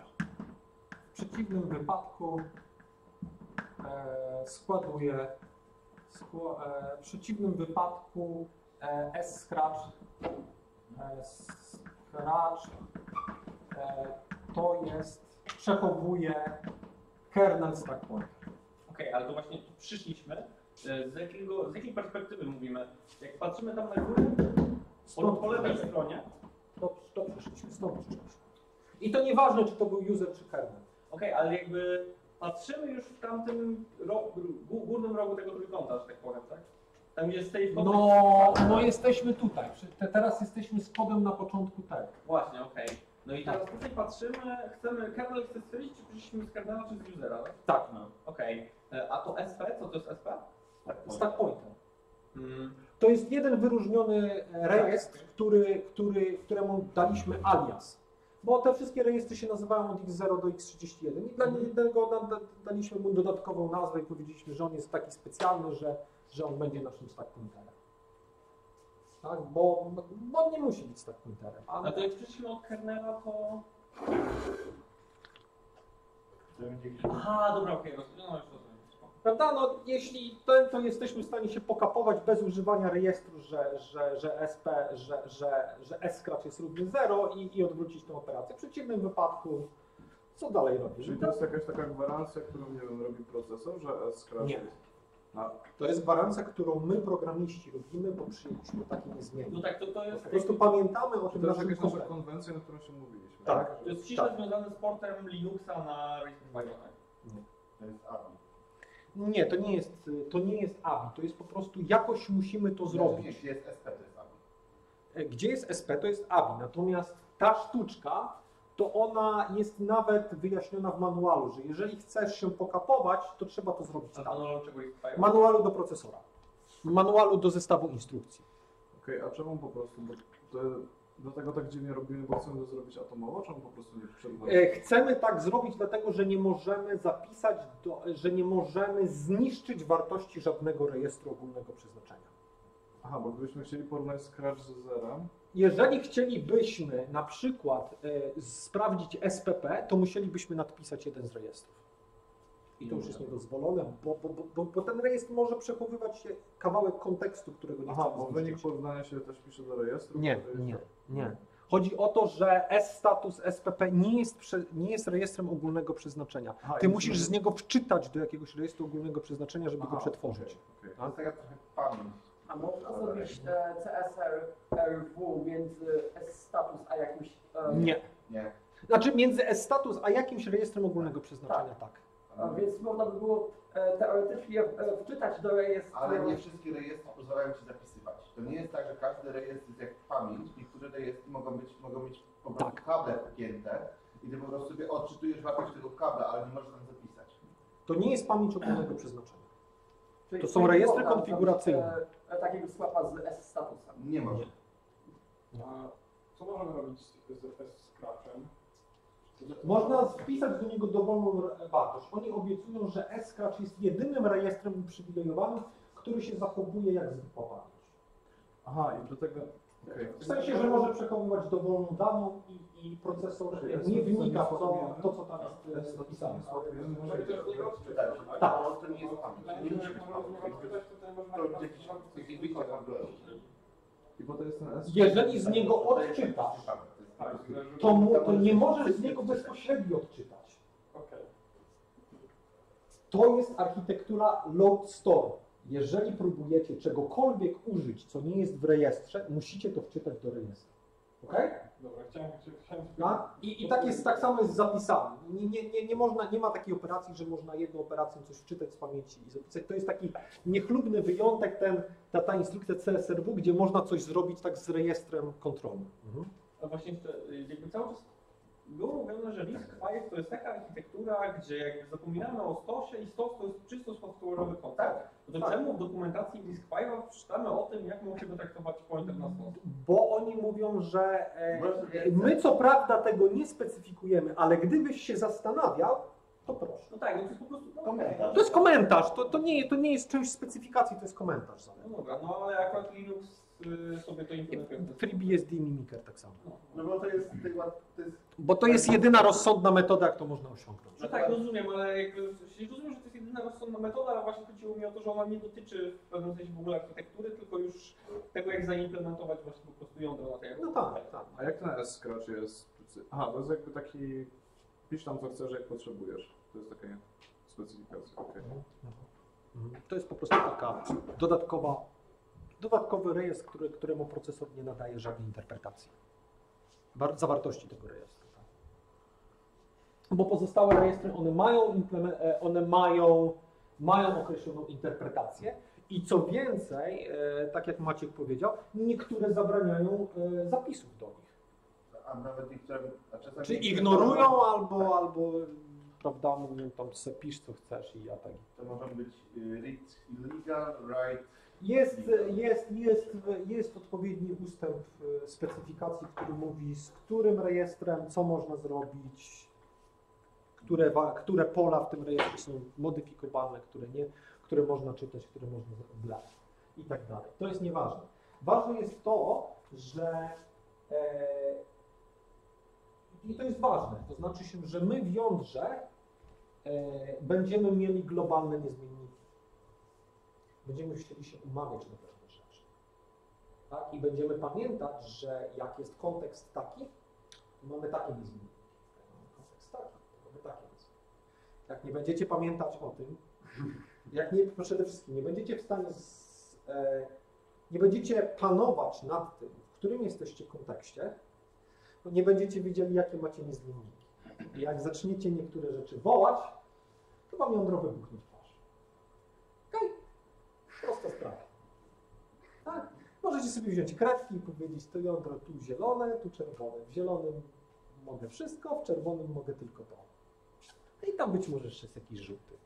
A, a czy ten zielony, zielony i czerwony, to on jest dość ściśle związany z, z górną i dolną połówką. Tak. Dość ściśle, ale to tam, mówię, to jeszcze zobaczymy, prawda? Bo ja nie znam Linuxa już widzę, jak czytam go, to już widzę, że to jest dokładnie to samo, co we FreeBSD tam, znaczy jest izomorfizm, tak? ale, ale, ale, ale już, już zdążyłem zauważyć, że niektóre rzeczy, na przykład Linux nie ma zmiennych warunkowych w środku jądra. Było takie, no ja, a takich zwykłych zmiennych warunkowych, takich jak mam w user space nie ma. tak? Ma tam takie wait, coś tam, ale to się zachowuje trochę inaczej. A, a, a, a, a, FreeBSD i NetBSD mają normalnie kondwary takie, jakie, prawda, ładnie w książce napisane wyglądają. Także ciekawe, prawda? A na przykład y, ten, a na przykład NetBSD nie ma semaforów. Jak zobaczymy w Linuxie, że, że ma semafory, to my takie, "Eee, co to jest, prawda? A, a druga rzecz, że, że, że na przykład w, w, w Linuxie muteksy y, domyślnie nie wspierają priority inheritance, trzeba używać specjalnych muteksów. A we FreeBSD wszystkie muteksy wspierają priority inheritance, nie ma tego rozróżnienia. Więc y, między jądrami są różnice w środkach synchronizacyjnych. y, Tam trzeba troszeczkę rozumieć, że jak się wejdzie właśnie do tej sekcji krytycznej, chronionej jakimś środkiem synchronizacji, to tam się zaczyna robić kolor żółty albo czerwony. I coś tam można, czegoś tam nie można, prawda? I trzeba, i trzeba o takich rzeczach pamiętać. No dobra. E. Prolog. Aha, czyli tutaj Tutaj jeszcze tak się spodziewamy, ale to trzeba znowu sprawdzić, że po prostu gdzieś jak już mamy ten stos dobrze zrobiony, no to my po prostu na ten stos wrzucimy te wszystkie rejestry od x0 do x31, no tu bez jednego, bo jeden zawsze ma 0 w środku, prawda? Więc najprawdopodobniej od x1 do x31, nie pamiętam, który ma 0, który No tych zero, jest. zero. Ze- No tak bym się domyślał, prawda? E, No i tutaj co jeszcze powiedzieliśmy, że potrzebujemy wrzucić? No, No, septs, e, septs as status. I powiedzieliśmy sobie, że to pozostałą część rejestrów też musimy wrzucić, bo, bo, bo jak włączymy przerwania, to, to, to mogą zostać nadpisane, a, a, a my później musimy ich użyć tam w procedurze obsługi page faulta. No może- i musimy jeszcze wrzucić e, SP z user space'a. E, No tak, tak, tak, tak, tak, Czyli tak, musimy- tak. Czyli, czyli tak naprawdę do, na SP, prawda, musimy tutaj, ja tak napiszę w nawiasach, prawda, musimy te, jeżeli przyszliśmy z user space'a, e, scratch, pod warunkiem, że, że przyszliśmy z user space'a, tak. Więc tam będzie jakaś logika wybierająca, co, co, co, co do tego kontekstu wrzucić, prawda. Analogicznie będzie, jak będziemy wracać, jak będziemy wracać e, i będziemy tutaj w tym lądce TX-ie, no to będzie tam trzeba z tego stosu tam odpowiednie rejestry odtworzyć, prawda, i, coś tam pogmerać i, i, i przywrócić ten niezmiennik, tak, przywrócić ten niezmiennik, jeżeli będziemy potrzebować. Tak, i to tam będzie trzeba gdzieś zobaczyć. No dobra. E, e, no to co? Jak prolog mamy, to tak jak powiedziałem, no po ustaleniu wskaźnika stosu, czyli to, no tutaj coś będzie trzeba jeszcze zrobić, prawda? No, trzeba ramkę stosu zarezerwować, prawda? Czyli trzeba sobie tam wziąć i ten, tą, tą, ten wskaźnik stosu przesunąć o tyle bajtów, ile tam jest nam potrzebne. Potem wszystko tam wrzucić, co trzeba. E, Trzeba te rejestry wrzucić, prawda? A, a okazuje się, że, że, że jak mamy dodatkowe, dodatkowe rzeczy, czyli w procesorze mamy na przykład FPU, czyli tą jednostkę, co liczy na liczbę zmiennopozycyjnych, albo jakąś jednostkę wektorową, albo jakąś tam inną, prawda? To my tego nie robimy z jakichś przyczyn. Nie zapisujemy kontekstu, tylko robimy to leniwie. Ale to sobie później o tym porozmawiamy, bo to też jest ciekawe, tak? Raczej jądro nie korzysta z tego. A, no, to właśnie, to, to, to jest właśnie to ciekawe, że jądro, jądro nie korzysta z FPU. To znaczy się, jeżeli chcemy skorzystać z FPU w jądrze, to trzeba o to grzecznie poprosić i to implikuje sporo problemów. I generalnie w jądrze, jak się potrzebuje coś policzyć, takie z przecinkiem, to jakich liczb się używa? Stał pozycyjny. Stałopozycyjnych, fixed pointów się używa. Tak? Czyli liczy się wszystko na integerach, tylko po prostu kropkę binarną e, wkładamy, wkładamy do środka słowa maszynowego i już. Tak? A, więc, więc, więc jądro jest integerowe z grubsza. Potem są katastrofy lotnicze, bo się źle policzyło. Wiesz co, jeżeli, jeżeli do jądra wkładasz taką funkcjonalność, no to, wiesz, no to, to być może masz jakiś, prawda, feature bloat w jądrze, tak? Być może, być może, wiesz... A to E, z ciekawości, gdzie się przydają przecinki? Jak się liczy jakieś prawdopodobieństwo, coś takiego? W jądrze nie wiem, no w jądro, w jądra, znaczy ja rozumiem, że w Linuxie ludzie nie wytrzymali i, i bardzo poprosili Linuxa, żeby można było floating pointów używać i tam jest jakiś mechanizm. W jądrach BSD mówią, chyba cię pogięło. Nie ma w ogóle mowy nawet, tak? Odczep się. W ogóle co ty próbujesz robić? To jest jądro. Co ty tutaj obliczenia numeryczne chcesz robić? Co metodę Rangego kut ty chcesz, prawda, coś, coś nią policzyć? No bez przesady, tak? No nie, no Właśnie w sterownikach to się nie, nie może przydać, jak trzeba właśnie coś, nie wiem, dane jakoś, znaczy, no dobra, nie mam pojęcia, co dokładnie tam można zrobić, ale żeby jakoś... nie wiem, taka jest konwencja. To generuje zbyt, zbyt widocznie jakoś tam historycznie też jest uzasadnione, ale po prostu się tego nie robi i już. Nie korzysta się z floating pointów, nie korzysta się z jednostek wektorowych. Kod w jądrze jest kodem całkowicie integerowym. I już. Integery prawie wszystkie procesory obsługują. To jest jedna sprawa, a, a, a druga sprawa, że e, to jest robione leniwie. Ten kontekst jest zapisywany leniwie. Czy ty chcesz cały taki duży kontekst? Ile może jednostka wektorowa mieć kontekstu? Weźmy takiego OXC 12. No setki bajtów, prawda? I czy teraz, teraz chcesz przy każdym syskolu to zapisywać? Nie. No nie za bardzo, to trochę Lipton, prawda? Znaczy, to słaby pomysł. No. Więc jądro nie korzysta z tych rzeczy po to, żeby, no, żeby aplikacje też szybciej działały, żeby ten koszt wejścia do jądra i wyjścia z jądra był, był mniejszy. Tak? W ogóle jak tak się słucha o tym, ile rzeczy robi jądro, to e, wygląda na to, że ta, dużo e, czasu jest spędzane w jądrze. To nie no, głównym zadaniem jądra jest jak najszybciej zakończyć swoje działanie i przejść do czegoś konkretniejszego, prawda? Znaczy no, wiesz, no, no dobrze, no to masz tam hatopa czy jakiegoś innego, możesz sobie mniej więcej zobaczyć, ile, ile, ile czasu jądrze spędza taki, taki system, który jest obciążony, no ale dobrze napisane jądro, dobrze napisane jądro, to, to, e, to ono powinno zasadniczo mniej niż procent czasu zajmować. Tak? No nie, to jest taka liczba z, z, z sufitu, prawda?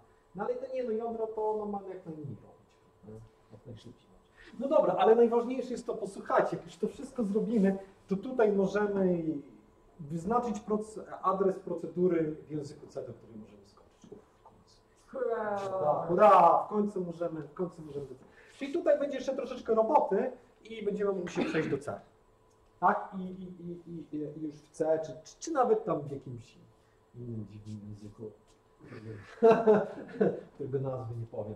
E, e, dobra, epilog, epilog. E, Epilog jest troszeczkę bardziej skomplikowany, czyli, czyli, czyli to, to, bo to nie jest tylko load context, tylko tutaj się coś jeszcze ciekawego będzie działo. Bo to jest dobry moment na wiele różnych ciekawych rzeczy.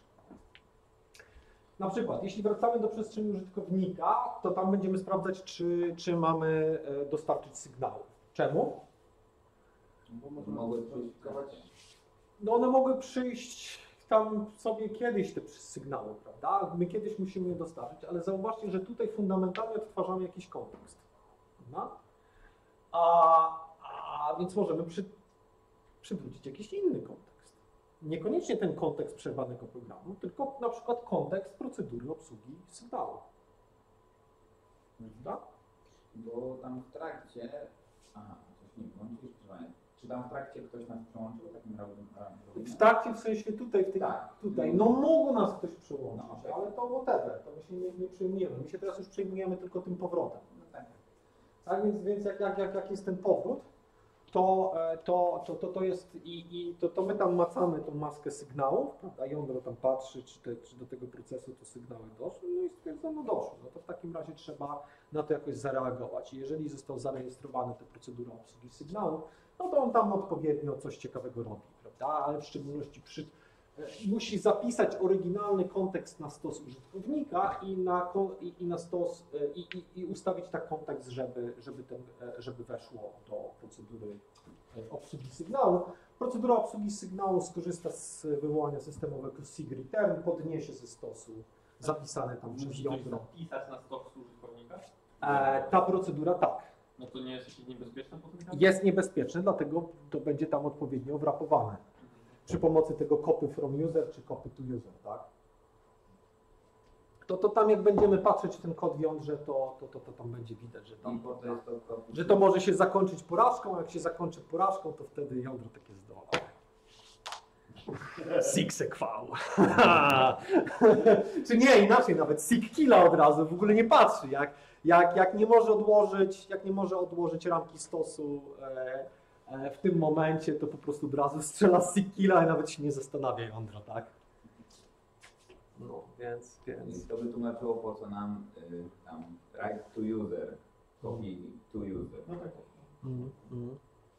Tak, więc jądro będzie zadowolone. Zobaczymy sobie ten mechanizm. Ja bym chciał, żebyśmy sobie na ćwiczeniach popatrzyli na te wszystkie rzeczy, tak?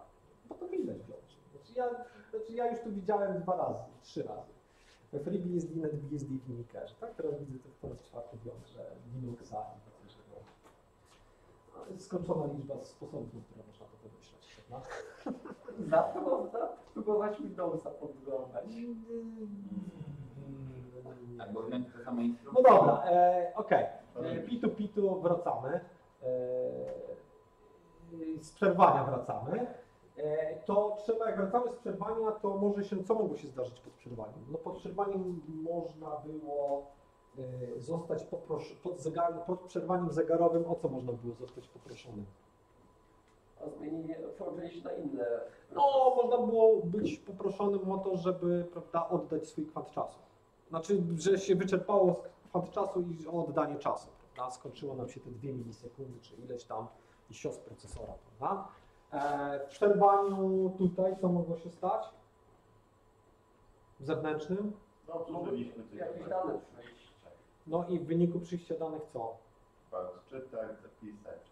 Co, co ktoś czekał na te dane. A ten ktoś, kto cze- czekał, to, to co? To trzeba było teraz e, przerzucić z kolejki zablokowanych do tej No to dobrze, to jeszcze gotowej. nic się nie stało, prawda? A jak on miał wyższy priorytet? Trzeba na niego się połączyć. to trzeba się na niego przełączyć. No. Czyli, czyli jeżeli tutaj, czyli jeżeli tutaj, tu, tu, tu mogło być tak, że po prostu e, poprosili, po, wyczerpaliśmy kwant czasu, tu mogło się wydarzyć tak, że e, zostaliśmy e, e, w wyniku przyjścia przerwania wybudziliśmy wątek, który miał wyższy priorytet i, i należy się. I, i, I gdzieś musi być ten punkt, w którym przełączamy, prawda? Bo ten punkt nie następuje e, w tym momencie, w którym my się pokapowaliśmy, w tej procedurze, wewnątrz tej procedury przerwania, tylko z jakiejś przyczyny jest to robione na samym końcu. Tak, jest to robione nie gdzieś tutaj, w środeczku, te, te, ta zmiana kontekstu, tylko tutaj na końcu, z jakiejś przyczyny. to też sobie o tym jeszcze tam kiedyś porozmawiamy, tak? Czemu, czemu to tak wygląda? Czy zawsze będziemy musieli przełożyć kontekst w przypadku przerwania zewnątrz? Nie, nie zrozumiałem. Czy w przypadku przerwania z zewnątrz zawsze będziemy musieli przełożyć potem kontekst na... Nie. Nie, no bo, no bo jeśli, jeśli, wy- jeśli przyszło przerwanie i wybudziło nam wątek o niższym priorytecie, to nic nie musimy robić. Prawda? A, albo jeżeli wy, wy, wy, e, wybudziliśmy wątek o takim samym priorytecie, jak bieżąco wykonywany wątek, ale naszemu wątkowi nie skończył się jeszcze kwant czasu, no to też nie. E, Właśnie też się zastanawiam, a czy to na przykład nie uruchomi sterowników? Nie wiem, nie zapisu? Nie no, wiesz, uruchomić to sobie może, prawda, ale to uruchomić na takiej zasadzie, że co to znaczy uruchomienie sterownika? Uruchomienie sterownika to jest wybudzenie jakiegoś wątku, który zreali- w którym wykona się jakaś funkcja należąca do tego sterownika. No ale to trzeba wybudzić najpierw ten wątek. Prawda? No i my tutaj właśnie w tym przerwaniu będziemy wybudzać jakieś wątki. Zasadniczo funkcją przerwań jest wybudzanie wątków, które robią robotę w tej, w tej naszej dolnej połówce. Tak? Hmm? To no to, to, to, to, to z grubsza o to chodzi. No dobra. A, no, czyli, czyli tutaj gdzieś będziemy, prawda, tutaj, tutaj na wejściu do, tej, do tego prologu będziemy sprawdzać, czy tam nie trzeba e, wywłaszczyć bieżącego wątku. E, no dobra, to żeby odtworzyć kontekst, prawda, to najpierw trzeba wyłączyć przerwania, no bo, no bo, no bo nie chcemy, żeby ktoś tam w połowie odtwarzania kontekstu, prawda, odtworzył swój kontekst, prawda, żebyśmy zostali przerwani. No to odtwarzanie kontekstu, zapisywanie i odtwarzanie kontekstu, tak jak tutaj narysowałem, to ono się musi dziać z wyłączonymi przerwaniami, bo, bo to my musimy tam, prawda, bo tam i ze stosem mieszamy i, i z jakimiś innymi rzeczami, z tymi rejestrami uprzywilejów. No nie, tu nie chcemy, żeby nam w to nikt paradę wszedł, prawda, więc to są takie specjalne regiony kodu, które tak mają. E, No to co, to robimy tak, że wczytujemy ze stosu te rejestry ogólnego przeznaczenia oraz te rejestry, te, te rejestry sterujące, o którym Wam powiedziałem, prawda, no bo, no bo one będą nam determinować, gdzie wracamy i z jakimi przerwaniami i jak, z jakim privilege modem, tak? Więc oto jest to. No Jak wracamy do przestrzeni użytkownika, to jeszcze musimy jedną rzecz zrobić. Jaką? Mieliśmy tu jakieś niezmiennik, prawda? się tak umawialiśmy z tym niezmiennikiem. No. Więc jeżeli wracamy do kernel space'a, no to wiadomo, tutaj jeszcze musieliśmy zdealokować tą ramkę stosu, prawda? Czyli tam ten, dodać do tego wskaźnika stosu tam tyle, ile była wielkość tej ramki stosu. No ale jak już tutaj jesteśmy, to już jesteśmy tak mega blisko wyjścia, e, mega blisko e, tego SREF, prawda? Więc e, zaglądamy sobie do powiedzmy, no tam gdzieś sobie musimy zajrzeć i, i, i- musimy stwierdzić, czy do S-Scratcha wpisujemy, wpisujemy 0, bo wracamy E, No nie, ono tam było, jak wracamy do... Aha, jak wracamy do jądra, to, to, to musimy tam 0 zapisać, tak. Jeśli tam nie było 0. No to zobaczymy to w kodzie. No tak czy siak musimy ten niezmiennik przewrócić i, i wykonujemy funkcję i uff. Udało się powrócić do tego kontekstu. Czyli mamy taki framework, przy pomocy którego możemy wytłumaczyć sobie, co, co tutaj się dzieje. No tak z grubsza, bo tutaj jest już kod w C, prawda? A my na razie patrzymy się na, na to, e, na to i, i, i na te wejście, wejście, wyjście. Prawda? Oczywiście ciekawym, ciekawą rzeczą jest jeszcze, co się stanie, jeżeli my rzeczywiście chcemy przejść do innego wątku, prawda? No bo może być tak, no bo może być tak, e, jeszcze, i to też jest ciekawe, e, narysujmy sobie to. O, No właśnie, jak nie bierzemy stosu ten, który był, tylko bierzemy inny, tak? Do tworzenia. Tak, tak, tak. To znaczy się tutaj mogło, e, mogła nastąpić taka sytuacja, że my żeśmy wywołali jakiś ciekawy kod, tak, wywołaliśmy jakiś ciekawy kod, o, i ten kod coś tam robi, robi, robi, robi, po czym mówi, nie pamiętam jak się nazywało, ale chyba się nazywała ta funkcja switch to. A mówi switch to. I co ona robi? Ona robi tak, że Tutaj mamy e, przerywaną linią i mamy tak. Przerywaną linią. Mamy tutaj user 2, tu powiedzmy, że user 1. Tak? I ta robi coś takiego. I to jest load CTX.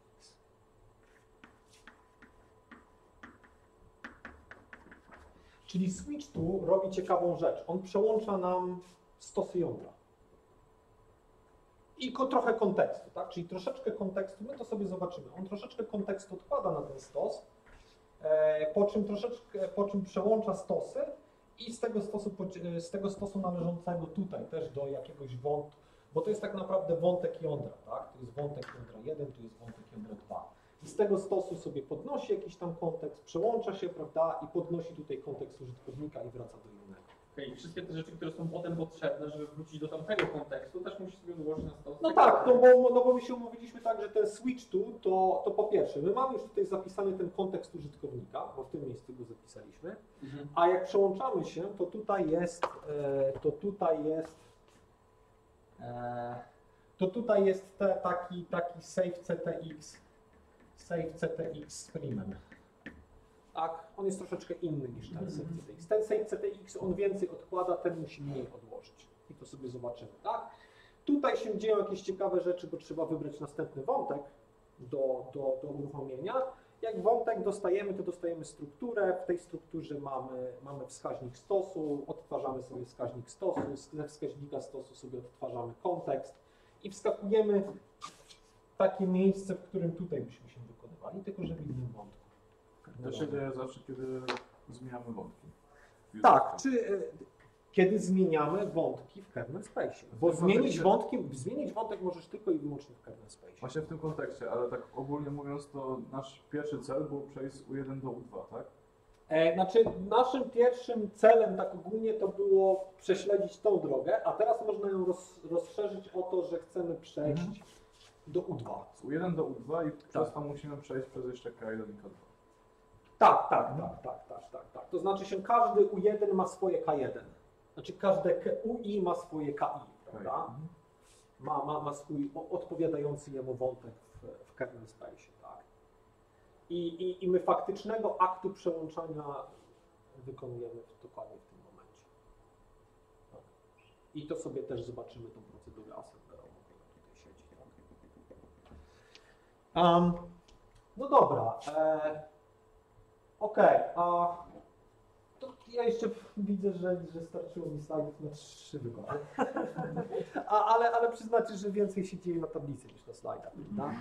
To, to, to być może niedobrze, powinienem lepiej te slajdy zrobić, Mm, ale daję radę. Dobra, więc tutaj jeszcze taka ciekawa, nieciekawa rzecz, że, mm, e, że co? Że mamy te wszystkie e, wartości tego rejestru SCOS, prawda? I tutaj macie je wypisane. Więc w tym SCOSie macie, widzicie tam, że tam instruction zrobiła to, instruction zrobiło to, zła instrukcja, breakpoint, tu, tu, siu i tak dalej, prawda? I tutaj macie te wszystkie możliwe wartości tego rejestru SCOS wpisane, więc to możemy sobie zobaczyć. I ponieważ zostało, e, zostało e, troszeczkę minut, to, e, to ja bym zrobił tak, e, bo, bo, bo chciałbym, bo chciałbym, żeby przynajmniej do jednego pliku zajrzeli. To dzisiaj usłyszeliśmy, że tam jest jakaś tego struktura tego jądra, że w tych katalogach coś jest, a my się przez na jakiś czas y, zagrzebiemy. Prosiłbym o wyjście do, do, do, do parent, prawda? Y, I tu jesteśmy w katalogu głównym. I to, co nas będzie najbardziej interesować, to będziemy klikać, tak? E, Na razie nas nie interesuje, będą nas interesować parę katalogów. To znaczy się, y, E, Karola będą głównie interesować katalog drivers, nas na razie nie interesuje. Tak? E, Mnie interesuje głównie katalog kernel, ale tutaj są rzeczy, które są niezależne od platformy, niezależne od architektury. Tak? Tutaj jest ta część jądra, która jest napisana w celi, która nie musi wiedzieć o tym, jak jest zrealizowana dana rzecz na danej architekturze, a tu będą brzydkie bebechy i tu na razie nurkujemy tutaj, prawda? Czyli nur- nurkujemy do archa, do arcza, prawda? I co w tym arczu ciekawego? No pewnie chcielibyśmy zobaczyć, jak mamy ARMA, mamy MIPSa, mamy Motorola i tak gdzieś na końcu szary X8664, to pewnie będziemy mieli też risk five. O, mamy risk five. No to właścimy do risk five, prawda? No to wchodzimy do risk five, prawda? Ojej, Rada. co tutaj jest, prawda? Co tutaj jest interesującego?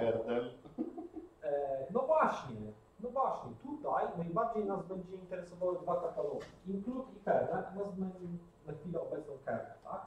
Tutaj będzie ta część jądra, która jest zależna od, e, od architektury, tak? która musi wiedzieć o tych wszystkich rejestrach, która musi wiedzieć, jak wygląda tablica stron e, i tam wszystkie te, e, prawda, nitty gritty details, jak to się mówi, prawda? Czyli wchodzimy do kernel i tutaj będzie taki jeden plik, który, w którym sobie troszeczkę pokrążymy i jeśli mnie nie myli pamięć, to jest entry.s.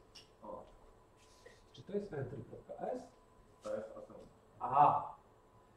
E, tak, i tutaj, i tutaj macie entry do jądra i to jest handle exception. I to jest dokładnie ten punkt. To jest dokładnie ten. Czemu są jakieś include? A co w assemblerze nie mogą być include? Przecież assembler jest przetwarzany przez normalny preprocesor języka C. No Okej, no najpierw, najpierw leci do CPP, potem idziemy do, do, do, do AS-a, prawda? I już, i tu może być No bardzo to dużo. kropka H można linkować do... No czemu nie? Jeżeli w kropka H e, dasz dyrektywę if defined e, assembler e, albo if not defined assembler, no to można sobie przykrócić to i powiedzieć, że defi- de- chcę widzieć tylko i wyłącznie te deklaracje, które powinien widzieć assembler. Da się. Da się. Znaczy tej infrastruktury e, preprocesora da się używać, tak? No i dobra, i, i- widzicie, że, że jest to nasze CSRW, tylko ściemniłem, bo tu było TP i tu jest y, dopiero Scratch i TP, ale jak się później wczytacie, to tutaj się coś dzieje, że jakiś stos pobiera, jakieś inne dziwne rzeczy, prawda, e, i tak dalej. No tak jak Wam powiedziałem, to jest architektura load store, więc właściwie jak tu czytacie, nie powinniście się czuć zaskoczeni, poza tym, że każda instrukcja, która arytmetyczno-logiczna ma trzy, trzy, trzy operandy, prawda? Czyli, dwa źródłowe, jeden docelowy, tak? Macie shift register left, immediate, prawda, czyli o branch not equal zero e, i tak dalej, i tak dalej. Nas zasadniczo te rzeczy w if-defach z grubsza nie będą interesowały, prawda? To, to, to, będą- to będzie jakieś, to, to będzie jakieś, e, to będą jakieś głupotki, e, a, e, trzeba by było tutaj na kot nacisnąć i wtedy to pomaga. Patrzcie, co tutaj jest. Sekundę. 45 linia. Alokacja ramki stosu. Prawda? Widać to? Bierze tu szpał. W dół, tak? I potem co robi? Wszystkie rejestry. Ziup na A stos. co jest e, X2? A nie wie, trzeba będzie wczytać się. E, Nie znam tego kodu na pamięć. Jak to? Może X2 to jest tak pointer. X4 też nie ma. No to będzie trzeba zobaczyć. Będzie trzeba, e, będzie trzeba być może zajrzeć, żeby to zrozumieć, być może będzie trzeba zajrzeć w, w ABI, być może to są jakieś... To jest alias na X0 po prostu, tak? Nie, Nie. nie, X0 ma X0 zero. przechowuje To jest 0, prawda? Jakiś raz X0. co? Zawsze przechowuje 0. Po prostu. Jeśli ładujesz z rejestru X0, to ładujesz stałą 0. Jeśli zapisujesz do X0, to robisz zapis do devnula. Tak, Okej, no dobra. I chcę to taki sprzętowy. A to SP to jest alias na jakiś inny rejestr, czy... Tak, tak, tak, tak, tak, tak, tak, tak, tak, tak, tak samo jak aliasem X28 jest T3. Albo S4, X20, tak, X20, S4 to jest X20, A7 to jest X17, tak. My co prawda nie wiemy co to znaczy, ale RA to jest return address, GP to jest global pointer, temporary, saved, e, argument, saved, temporary, prawda, i tak dalej. Dobra, no y, trzeba będzie popatrzeć jeszcze w te assemblery, żeby to zrozumieć. E, To tu trzeba by było zobaczyć, ale widzicie, tutaj znowu jest wczytywanie tych CSR-ów, to co wam powiedziałem. Tutaj jest wkładanie ich na stos. Coś tam jeszcze A ciekawego. to jak się pisze w, w tym w, właśnie assembler, że do risk file trzeba używać tych xów i tak dalej? Nie ma jakichś też fajniejszych aliasów na te rzeczy? To by było widać, że No są, są, są aliasy, ale, no ale wiesz, no być może dla jasności. I tutaj w tym kodzie będzie widać. Będzie widać. No, to E, jest najlepsze. jakby ja przypatrzyłem cały ten kod tak z pobieżnie i tu widać jak są, e, jak, jak, są, e, jak stąd dochodzi do generowania sygnałów, jak stąd dochodzi do, do, e, do przetwarzania e, sygnałów, jak s- wszystko jest. To, to, to wszystko da się prześledzić stąd. Tak. To, to jest ten punkt wejścia do jądra, z którego wchodzimy do jądra, do wszystkich podsystemów. To, to absolutnie wszystkich podsystemów. To jest ten tak zwany kernel entry points. Prawda?